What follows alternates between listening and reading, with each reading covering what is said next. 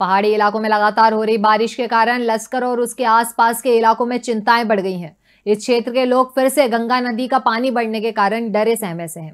वहीं पुलिस प्रशासन भी लगातार लोगों से गंगा नदी से दूर रहने की अपील कर रहा है। लश्कर पुलिस प्रशासन ने लोगों से अपील करते हुए कहा कि इस क्षेत्र में श्रीनगर डेम से गंगा नदी में पानी छोड़ा जा रहा है, जिससे गंगा नदी का जल स्तर बढ़ गया है। इसलिए कोई भी व्यक्ति गंगा नदी के आसपास ना जाए और ना ही उसके आसपास के इलाकों में जाए। कोई भी आपातकालीन स्थिति बनने पर तुरंत पुलिस प्रशासन को सूचित किया जाए। वो खबरें जो आपके काम की है वो खबरें जो आपके लिए ज़रूरी है। हर आम और खास से जुड़े मसले। हर मसले का सटीक विश्लेषण। हम करते हैं सत्य का अन्वेषण। दखल न्यूज़। आपके हक में। आप देख रहे हैं दखल न्यूज़।